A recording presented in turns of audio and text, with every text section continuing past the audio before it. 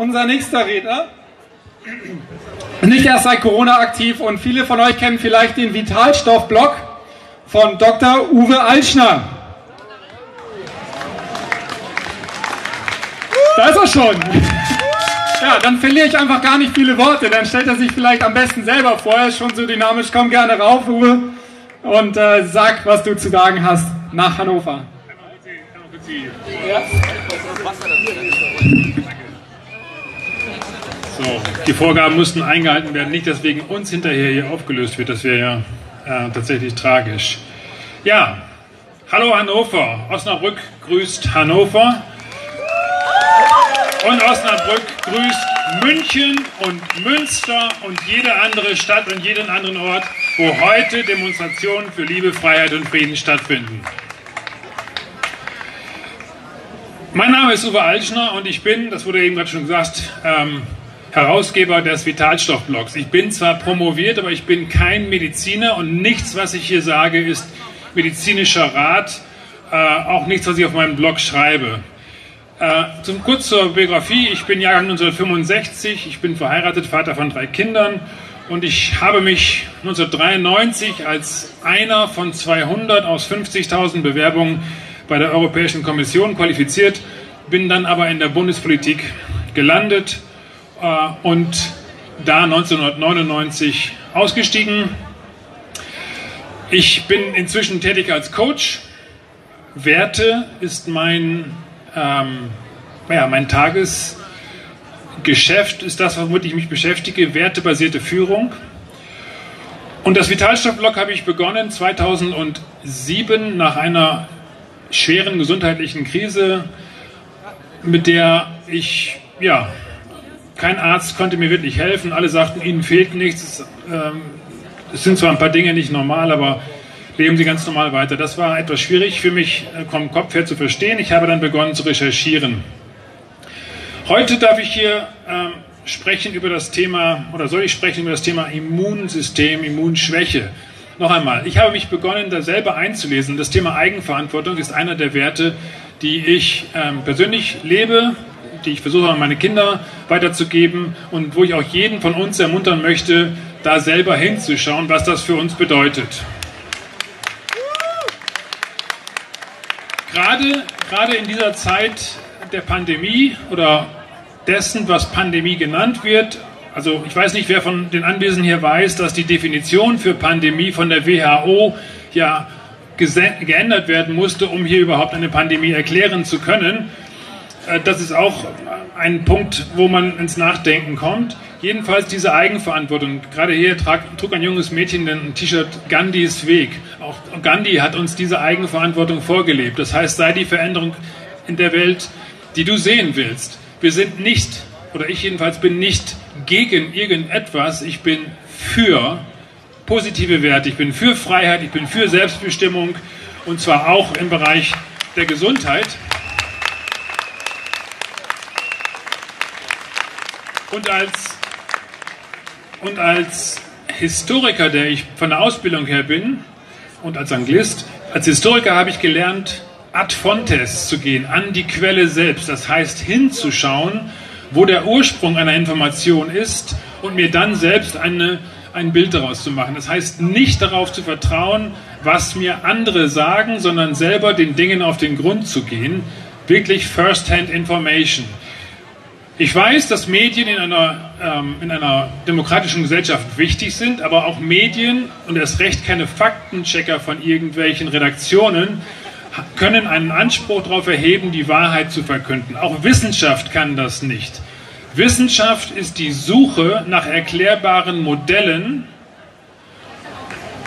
im Bemühen, einen Konsens darüber herzustellen, damit das Modell so lange funktioniert, bis eine neue Information hinzukommt und dann muss dieses Modell revidiert werden. Das heißt, Wissenschaft lebt vom Disput. Die Disputation ist eine der wichtigsten ähm, Formen in der, in der Wissenschaft. Und daran mangelt es hier in diesem Verfahren total, weil wir nur eine, einige, eine einzige Richtung vorgesetzt bekommen.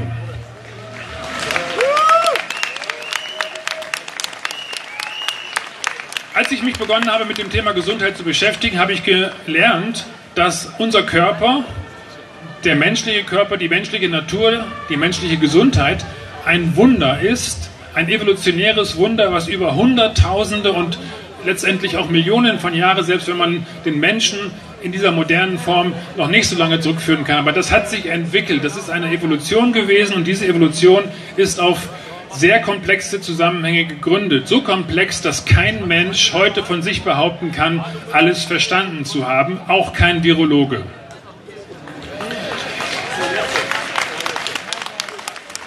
Aber was wir wissen, was wir wissen, ist, dass das, das Bild von Gesundheit eben nicht etwas ist, was durch die Abwesenheit von pharmazeutischen oder sonstigen Produkten ähm, entsteht. Ja? Wir werden nicht mit einem Mangel an Aspirin geboren, ähm, wenn der Kopfschmerz uns erreicht. Da ist ein Gleichgewicht aus dem Ruder gelaufen und dieses Gleichgewicht liegt unserer Gesundheit zugrunde und das müssen wir wieder herstellen.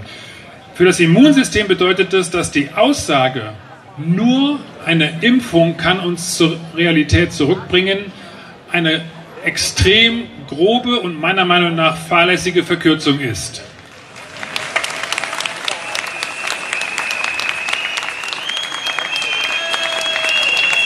Wenn ich mir anschaue, und das habe ich getan, wem nutzt denn eine solche Botschaft? Ja? Der Chef der WHO, ach nee, er ist gar nicht Chef, er ist nur der größte Geldgeber der WHO, der hat das in zehn Minuten in den Tagesthemen äh, ausbreiten dürfen, wo ich mich auch gefragt habe, wann hat es das jemals gegeben, dass eine andere Persönlichkeit zehn Minuten Interview in den Tagesthemen bekommen hat. Und der hat etwas verkündet, was wissenschaftlich extrem fragwürdig ist und was seit den ähm, Anfang Juli spätestens seit der Vorlage der Arbeit aus Tübingen von Professor ähm, Rommerskirchen auch widerlegt gilt. Es gibt andere Formen der Immunität auch gegen dieses Virus.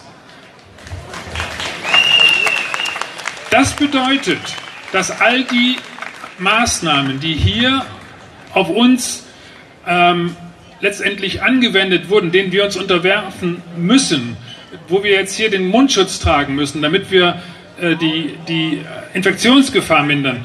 Infektionsgefahr bei was? Ich möchte einfach mal darauf hinweisen, wir haben insgesamt in Deutschland 9.347 Tote seit Beginn dieser äh, Entwicklung gehabt. Es sind jetzt sechs Monate grob gerechnet. Wir haben jeden Monat in Deutschland 75.000 Tote, normal. Jeden Monat 75.000. Insgesamt haben wir jetzt über sechs Monate 9.300 Tote. Im März 2020 hatten wir 87.000 Tote. Das heißt, eine Übersterblichkeit davon, ähm, Moment, Kopfrechnen, 7.000, 12.000 ähm, Toten. Da kann man sagen, okay, das ist wirklich dicke. Und dann haben wir auch damals gesagt, mehr oder weniger alle, selbst Markus Heinz äh, bekundet das ja immer wieder, okay, wir sind damit einverstanden gewesen, dass man damals entschieden hat, das Land zu schützen. Aber sehr schnell wurde deutlich, dass das eine, eine singuläre Singularität war, die so nicht stimmt. Denn wir wissen es, im März 2018 hatten wir in Deutschland 107.000 Tote. Das heißt nochmal 20.000 Tote mehr. Und wo war da der Lockdown? Wo war da die Medienberichterstattung? Die gab es nicht. Auch das muss uns nachdenklich machen. Aktuell Aktuell haben wir in Niedersachsen 475 Fälle. Auch das Thema Fall. Was ist ein Fall? Normalerweise ist ein Fall eine Erkrankung. Wir reden heute aber von Fällen, wenn wir positiv Getestete meinen. Von diesen positiv Getesteten haben wir 15 momentan aktuell im Krankenhaus und 9 auf Intensivstation. Das ist bedauerlich und wir wünschen all diesen Menschen das Beste für ihre Genesung. Aber es sind, es sind sechs sechs von 1000 Intensivbetten aktuell belegt.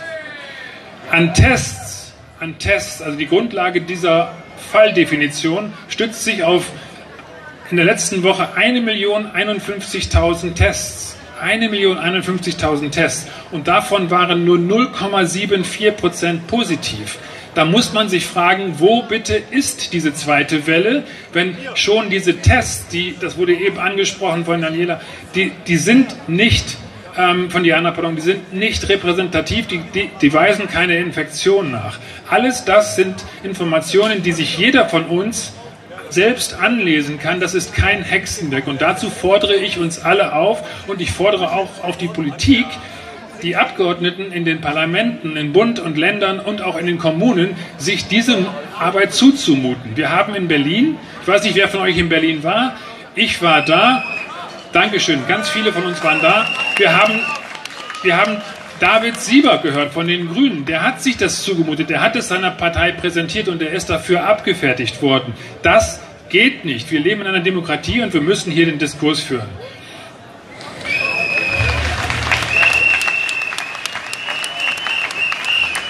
Noch einmal die Frage, wem nutzt das, wie jetzt hier gesagt bekommen, nur eine Impfung führt uns wieder hinaus? Ich muss noch ein bisschen auf die Uhr, auf die Uhr schauen, meine Zeit geht zu Ende. Wem nutzt es? Ja, wir, wir erfahren hier eine Verkürzung auf nur eine, äh, eine Form von Immunität, auf die Antikörperebene. Dabei gibt es auf der T-Zellebene äh, eine wesentlich kräftigere, eine wesentlich ähm, auch intelligentere Form von Immunität, die uns hilft dabei, Herausforderungen ähm, zu überwinden, auch die Herausforderung des Coronavirus. Wenn wir uns aber fragen, wem nutzt es, dann ist es eine Frage der Industrie, dann sind es Dinge, die dann in den Bereich auch von struktureller Korruption führen. Ich sage das ganz besonders, auch ausdrücklich so, strukturelle Korruption, wo Industrieinteressen inzwischen einen Einfluss auf unsere Politik erlangen, der fragwürdig ist Darüber spricht Robert F. Kennedy Jr. und ich kann auch hier jeden und auch die Medien und die Öffentlichkeit einladen, sich mit den Argumenten von Robert F. Kennedy Jr. vertraut zu machen, denn er spricht es an, dass hier interessengeleitete Entscheidungen vorliegen könnten und die bedürfen einer, ähm, einer sorgfältigen Untersuchung. Alles das könnt ihr auf meinem Blog vitalstoff.blog www.vitalstoff.blog nachlesen. Ich habe Interviews geführt mit Nobelpreisträgern, weil ich wissen wollte, was geht hier eigentlich vor, auch weil ich selber Risikopatient bin seit dieser Geschichte damals. Und ich bin sicher, dass wir hier eine Sache haben, die ist ernst zu nehmen, aber die ist letztendlich äh, nur ernst zu nehmen für einen Kreis der Betroffenen einen Kreis der Geschwächten, die müssen wir schützen und der Rest von uns sollte sein Leben normal weiterführen dürfen. Ich danke euch.